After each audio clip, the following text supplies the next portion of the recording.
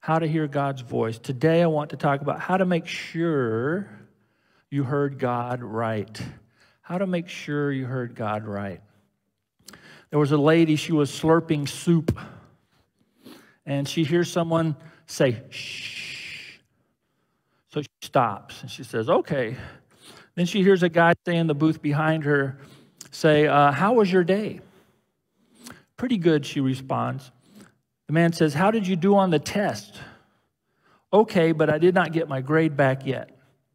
The guy says, uh, I am sorry, I'm going to have to call you back as a person is answering all my questions that I have for you. Has that ever happened to you before? You thought someone was talking to you, but they weren't?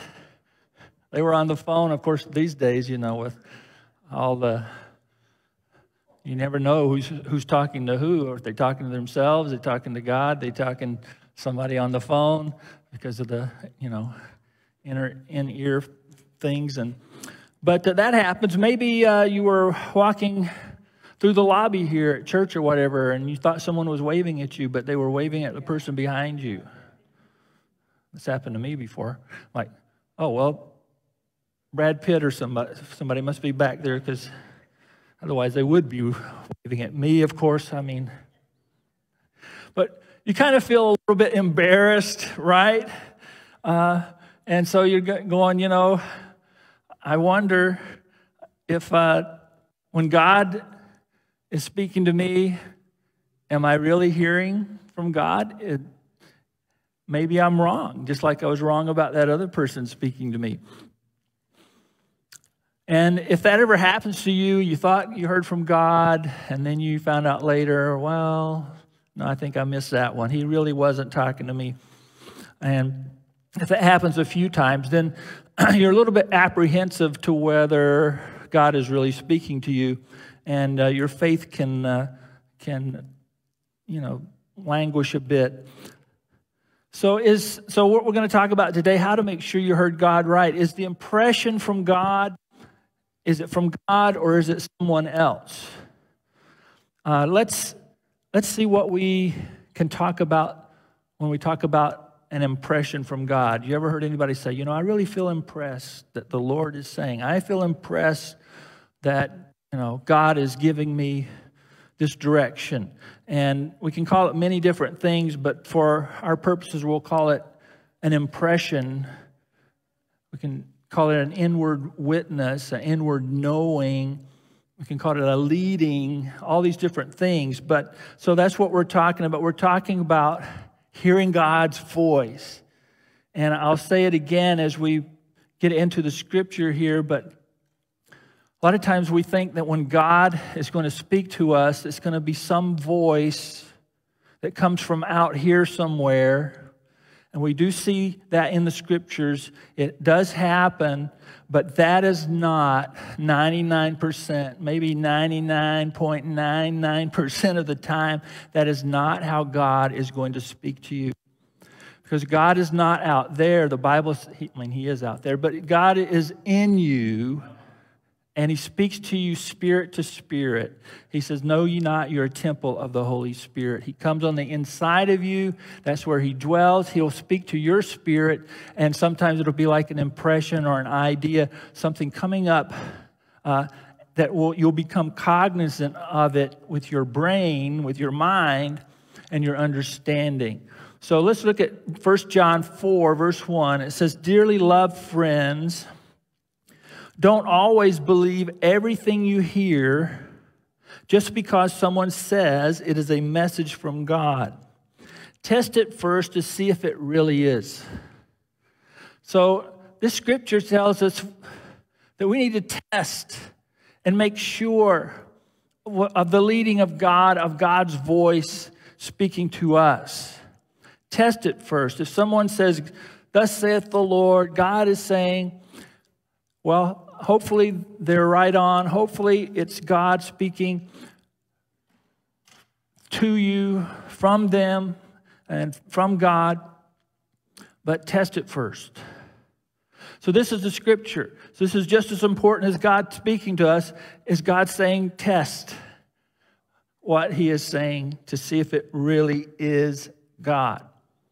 So, an impression then is when God's leading you in your spirit. And the definition for the word impression is an idea, feeling, or opinion about something or someone, especially one formed without conscious thought or on the basis of little evidence. Kind of sounds like faith. And when we hear from God, we have to sometimes take it by faith and it's based upon little evidence, right? It's based upon maybe not even formed with conscious thought, but we feel an impression, we feel a leading. So, sources of impressions then. So, we've got to test it. We've got to make sure it's God. But let's, let's go back to that verse. In the first part, it says, uh, says that it is a message from God. God gives us messages. God speaks to us today. And there are sources of impressions, and we get information, impressions, we get leadings, we get words, we get what we think might be God speaking to us from different places. So here's some sources of impressions we may get. The first one is myself. Myself. And it says it in Proverbs 14 12. It says, Before every man there lies a wide and pleasant road that seems right, but ends in death. In other words, we may be impressed by our own wants, our own desires, our own thoughts to do something that is not God leading us, that is not God's message for us. Now, we don't discount the, the, the desires that we have because the Bible tells us if we delight ourselves in the Lord, He will give us the desires of our hearts. So it's a, uh, but if you're delighting yourself in the Lord, it's easier to hear from God. It's easier to have the desire that God puts in there, right? And so, uh, so we don't discount any desires we may have. They might be the leading of the Lord, and He puts those desires in us many times. Now, it's not bad to want something, right? But we can't let our wants override what God is leading. Sometimes we will want things that God says to wait on or no, or, uh, you know, it's not His plan. So we have to learn to test that desire, that impression that we have, that want that we have. You know, have you ever heard stories, or, or maybe you know of situations where a guy tells a girl, God told me I'm to marry you? Right? Has that ever happened? Uh, maybe you've heard about it happening. But most of the time, that's just the guy's insecurities saying, you know what, I need to play the God card so that I can win this lady over. And uh, I mean, God maybe said that to him. But if God doesn't say it to the young lady or to the girl, so if God's big enough to tell the guy, he's big enough to tell the girl, right? I mean, God can speak to both and confirm that. Test it. See if it is God, right? So just because they say God told them does not mean he's told you. There's a lot of times people say, God is saying this, God is doing this, God wants you to do this or whatever, and it could just be what they think. And a lot of times it might be just what you think. And so that is the, the testing that we need to make sure of. So we're talking about where do some of these impressions come from? They come from myself. Uh, sometimes. It can, can come from God, of course. It says in Job 33 14, says, For God does speak. Now one way, now another, though man may not perceive it. So that's the thing. Are we perceiving the voice of God? Are we, that impression that we're getting, that inward knowing that we're getting, that leading that we're feeling, is that God speaking to us? For God does speak. I think we should just let that sink into our hearts. For God does speak. God does speak. God does speak. A lot of times we're going, is God speaking? Where is He? It seems like I'm not hearing. But as it says there, though man may not perceive it. It may seem to be difficult to hear from God, but does, it doesn't mean that He's not speaking. So let's listen for His voice and uh, know that He does want us to be led of the Spirit of God and receive His direction and His help. So it can come from the impression can be God. And then thirdly, we see that the impression can come from Satan. Right? So it says in 2 Corinthians 11 14, it says, And no wonder, for Satan himself masquerades as an angel of light. In other words, he will deceive believers, he will make it seem like he is a messenger of God, that he is God speaking to people. And he can convince people that the impression is from God, but it's not. And a lot of times he will take things, twist it, and that's what he always does. From the very beginning, he said, Did God say? Did he really say that? Is that what he really said about to Adam and Eve, you know, that, that you would surely die if you eat of this tree? So, uh, so he's very clever. He is the, you know, he's the master of lies and he will deceive even the elect, even those who have received Jesus as their Lord and Savior. So you have to test where's this coming from? Um, so, how do you test impressions? First one is does it agree with the Bible? We talked a little bit about that last week that God speaks to us through the Bible. That is God's voice. And so, how do you test impressions that you get from the inside in your spirit and it comes, you know, uh, bubbling up into your mind, so to speak, and it seems like you're hearing from God? And how do we test these impressions? Well, does it agree with the Bible? Very simple, very easy.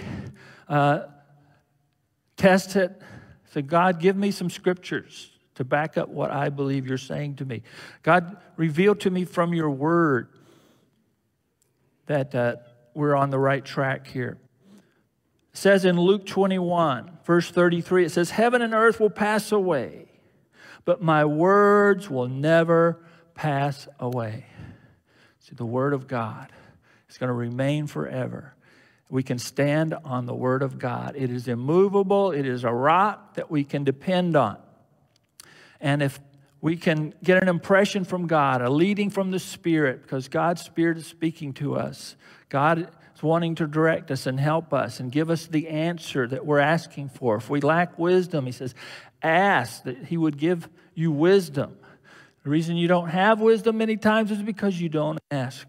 He wants to speak to you, He wants to give you direction in your life. So, the best test is the Word of God, where we know God has already spoken. He's already said these truths.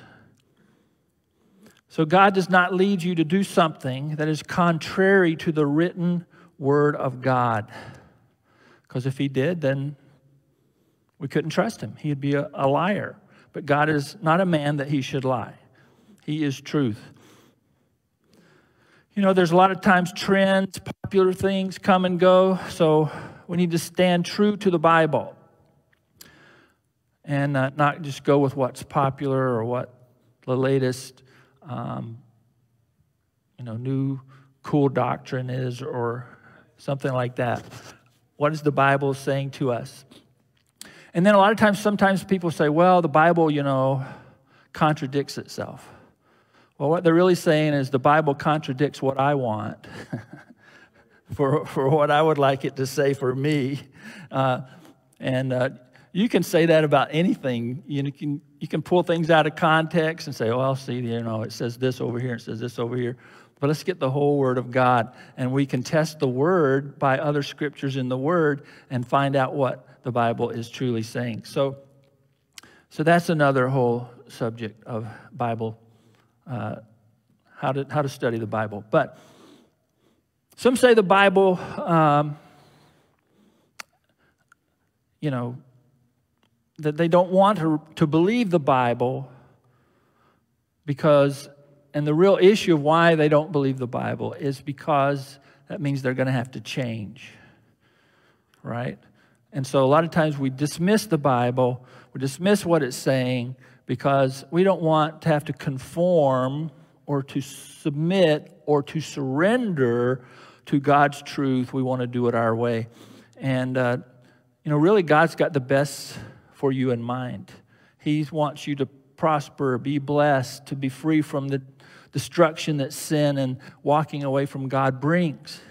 And so, uh, He's wanting you to obey the Bible because that is God speaking His truth in the right way for us to go so that we will receive all the benefits and blessings of our relationship with God. So, you know, the, there was a kid, he was praying nightly for a new bike. God, please give me that new bike that I want. Oh, I want this new bike. And so he keeps praying nightly, but it seems that the bike never came. He never got what he was praying for. So one day he saw a bike like he wanted, so he just took it. And then he says, Well, I'll just take the bike because that this must be God. It's here, it's available for me. This person doesn't really need it. I mean, you know, I need this bike. I've been asking God for this bike. So they rationalized that, you know, God must be wanting them to have the bike. And, uh, and I can just ask for forgiveness afterwards, after I stole the bike. Well, Lord, He'll forgive me. But isn't that true about how a lot of times what we do things? Well, this may not be really what God wants, but, you know, I deserve this or whatever. And so you go for it and you go do about it the wrong way and you say the wrong thing or you somehow steal or hurt someone or something. And I will just ask for forgiveness. Well, he may forgive you, but the Bible says don't test the Lord like that and don't uh, keep doing evil because you know that he will forgive us. But uh, you'll still probably suffer the consequences for your actions, even though God may forgive you. We can ask God to forgive us all day long and all night and all week and all month and all year. But it does not protect us and it does not keep us from getting addicted, getting pregnant, getting fired, getting embarrassed, getting jailed. Because those consequences can still play out even though God forgives you, and uh, He will want to lead you away from these things. You know, I can, you know, be flying down the highway going, you know, 20 miles over the speed limit and say, God, you know, protect me from the getting a ticket, protect me from this or whatever. And I hope He does, but uh, if the police is there and they got the radar on you, you're probably going to get a ticket. So, well, God will forgive you and everything, but I still got to pay the ticket. You know, I still kind of have to go. But, you know, I, I really got to get there. This is really important, God. I mean, you know, if I'm late, then, well, God, if it's that important, God would have helped you get there earlier by getting started earlier, right? I mean, just uh, be led by the Spirit. God's saying you need to start right now. So, anyway, that's just some examples of what we do to justify, and we get away from the truth of the Bible. And so we need to test our impressions. Does it agree with the Bible? And um, the Bible also tells us uh, to not be unequally yoked with an unbeliever. So we can be, if we're equally yoked, that means we're both going in the same direction, to the same place, at the same pace. And so let's put that picture up there. This is what it looks like if you're unequally yoked. Uh, sometimes one might be more stubborn than the other and they're pulling in the wrong direction, or one just pulling and just dragging the other along, you know, because they don't want to go. I mean, I rode a mule one time and the Mule did not want to do what I wanted it to do, I can tell you that much. Saw a tree limb and it was low and it went for it to knock me off. I mean, they are stubborn and they're smart. They know what they're trying to do. But, anyways, so we want to be equally yoked. We'd like to have two oxen there pulling and uh, going together to the same place. And so, so that can be true in our relationships. It can be true in our business relationships. I mean, if we're not equally yoked, in other words, we're not all on the same page, going for Jesus, going all the way, then it, you're going to have a difficult time of it. And we can pray and do all that we want to do, but does it agree with the Bible? And so that's what you have to make sure you're testing the impressions you get and your leadings from the Lord. You want to make sure we're equally yoked, that we're in agreement, we're going together in Christ. So the second thing then here is do other godly people agree with it? Do other godly people agree with it? The impression that you have, the leading that you're bringing. Talk to other people. Is this God or is it just my want? Is it just me or is it the enemy trying to get me off track or is this God? Ephesians 3:10 says his intent was that now through the church the manifold wisdom of God should be made known. So it's the church's uh, calling, it's the church's uh, enablement through Christ to bring the wisdom of God, the manifold wisdom of God to be made known. He uses the church, He uses you, He uses other individuals, He uses all of us to make His truth known. And what is the church? It's godly people. So, have other godly people affirmed what you believe God is impressing upon you? Find those who are further along in the area of life, maybe that God you wanting God to lead you in, in different areas. It, you know, you can look up Proverbs 11, 9. It says, The wisdom of the righteous can save you. The wisdom of the righteous can save you. In other words, by their experience, by their walk with Christ, they can tell you, you know, the way you're going is going to lead you to trouble, just like it did in my life, or uh, they know the leading of the Lord in those areas because they've been there. And so, those of you that have come through things, that have endured some trouble in your life, and God has saved you, restored you, strengthened you, helped you, God will use that for you to be able to bring forth God's wisdom, God's speaking into other people's lives so they won't have to endure the trouble that they need not go through. So, godly wisdom from others will save you money. Godly wisdom from others will save you frustration, save you from mistakes, save you from heartache.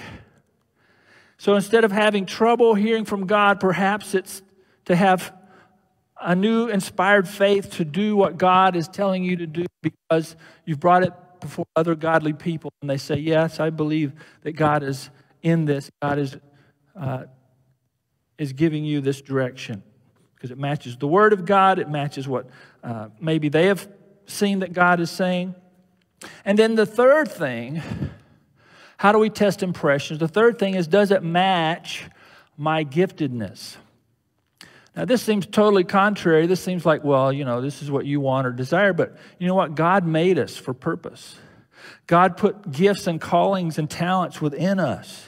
And so, if He gave you that talent and gift, He's not going to lead you to do something you know nothing about. You have no, qual, you know, no uh, gifts or talents for. So we could say, does it match who God made me to be?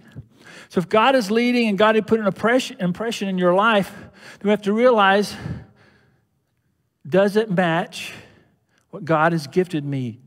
It says in Ephesians 2:10.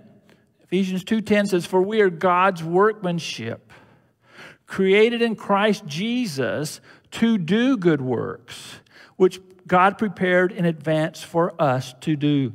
So if he's prepared for us to do these good things, and that we're God's creation, God's workmanship, that means He has a plan.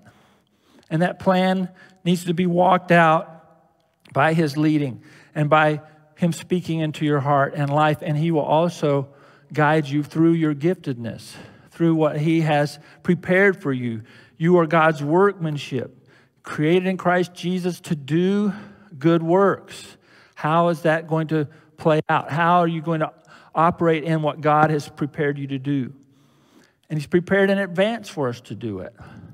So that means planning, doesn't it? That means a purpose. God has a purpose for you to walk in this earth, to be a blessing, to be used of God, to be useful, to create, to produce, to increase, to uh, be a blessing to those around you, for God to use you and be a testimony and a witness for Him. So, how is God going to do that? He's going to lead you in ways that will promote your talents and giftings and the things you're good at, the things that you have in your life, the wisdom and skills. I mean, we see even in the Old Testament, God anointed and gifted and gave skill to those who would make the temple, to create the things that, natural things that would go into the physical temple of God. And He said that they were given skill and wisdom how to do those things. And so that was just as wonderful and anointed as anything else. So use what God gave you. Don't try to use what God gave somebody else, right? So if things aren't going well for you, it could be because what you're doing is outside of your giftedness. Well, I thought God was leading me to do this, but you have no talent for it. So just take an about face, all right? I mean, I used to have a diesel truck. That truck was powerful. It could, you know, tow, it could haul. I mean, it could do some wonderful things, but it was terrible in city traffic trying to find a parking spot. It's big and it doesn't have a good turning radius. I mean, it's just not made for city parking, city things, even though, you know, we would do that. Then we have a, a Camry that, you know, is a lot better for those kind of things, for zipping in and out of uh, you know parking lots and parallel parking, and I mean you can just forget about trying to parallel park the truck. Anyways, um, so maybe if you're like, well, if you're going really slow, maybe it's because you're towing more than you're made for. Maybe you're trying to be a be a truck and trying to tow this and you are getting nowhere fast because you're just not made for that. There are things that come naturally to you and you and were put into you by God. And that is just as supernatural as getting a, you know, a prophecy or, uh, you know, any kind of spiritual thing. That is just as wonderful and maybe more wonderful because it's not showy. The Bible says we need every part of the body.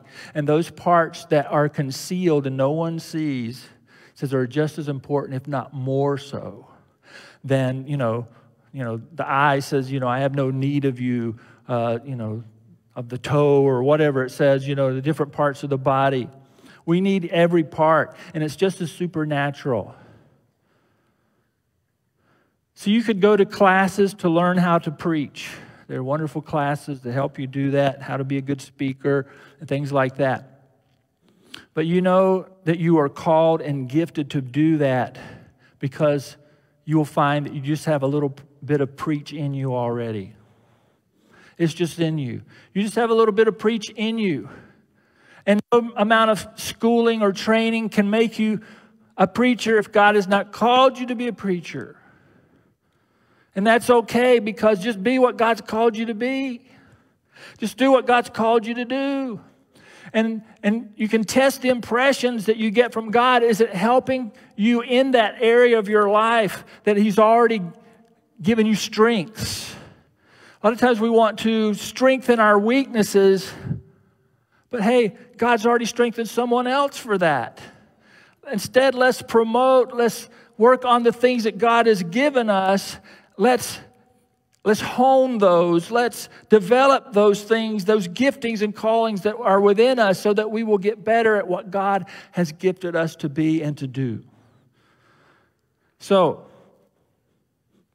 listen to others as they will let you know what you are gifted at think about that people can see what you're gifted at and they know what you're not gifted at right and uh, so just think about it. You know, I think a new uh, a new uh, series or, or whatever of sing, some of these singing programs are on again.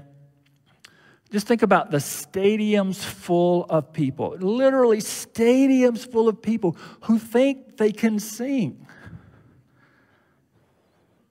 And they're, sometimes they're shocked and destroyed when the judges say, That was horrible, and you can't sing. At least not sing in a professional way that, you know, that they're looking for. We can all sing, make a joyful noise unto the Lord. I mean, you know, the Bible says that unless, unless you praise the Lord, the rocks will cry out. So I'm not going to let a rock out sing me, okay? So let's sing to the Lord, delight ourselves in Him, and He'll delight Himself in you. But we're talking about developing the gift God gave you. And sometimes other people can know, you know what, this isn't what you're supposed to be doing. You're supposed to be doing this over here. Find the sweet spot in your life. Find the things that you're good at. Do those things and enjoy it. Quit looking at what other people are doing and what they think, what you think you would like to be doing in them. You know, that's just called jealousy, and you're just setting yourself up for a hurt and trouble. So, is God leading you and impressing this upon you, or you just think that this will be good for you? Or is it the enemy, Satan's coming to try to twist things up to get you off track that God has for you. Because where God leads and guides, He provides. And when He provides for you, it'll also overflow and to be a blessing for everybody else. God wants to develop what's in you so that you will be a blessing. You know, He said to Abraham, I'm going to bless you so that you'll be a blessing, right? And if you're going away from your giftedness and calling, then that is not what God is impressing on you. He wants you to go in that way. And that's okay. So, does the impression you have cause you to be more like Christ, or does it push you away from your walk with Christ? Is the person you want to marry leading you to Christ? Or are they pushing you away from Christ? Is the job you're praying about going to make you more like Christ? I know that's a difficult one, right? Um, but is there is God leading you and you know that you'll be able to stand strong and be a testimony and a light, and maybe there's some other support there in your walk with, with God. And it won't cause you to go against your principles of truths in the Bible. Does your church cause your faith to increase?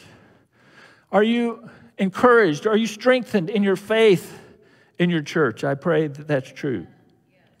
Does the college that, that you think you want to go to support your walk with Christ, or does it cause you to go away from Christ?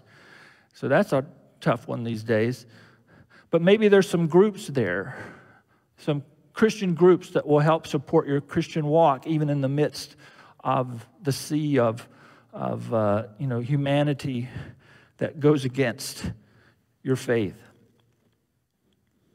Does what you believe God has told you to do, the impression that you believe God is speaking to you, you believe it's from God, does it agree with the Bible? Does it agree with other godly people? And does it match your giftedness? Will others see Jesus in the path that you have an impression to follow? Will others see Jesus in the path that you have an impression to follow. Let's pray. Lord, we pray that you lead and guide us what you've created us to be and to do. That we be a witness and a testimony and a shining light for the glory of God. Lord, lead us and guide us, Lord, that we would hear your voice and that we'd be able to test it and know that it's true and know that it's you. And our faith would soar and, our, and the blessings would, would pour from heaven upon us and that we'd be able to be a blessing in greater measure. Because we've heard your voice and we've listened and we've obeyed. We've not gone astray. We've not gone the way of our own wants and desires that are against your path and your plan. And your calling, your leading, your anointing, and your gifting in us. For you have a purpose that we would be a blessing to all around us. We'd be your voice even in a dark world. So, Lord, we pray that you would help us know you, and we would test it and be sure. But we do know you're speaking. We do know that we can receive wisdom and direction from you. So we call upon it right now. Lord, give us that direction and wisdom. Speak to our hearts and press upon us your path and your plan and your wisdom and your leading, even on the next step and then the next step and further and further, that we might glorify your name and be all that you've called us to be. In Jesus' name we pray. Amen. Amen. God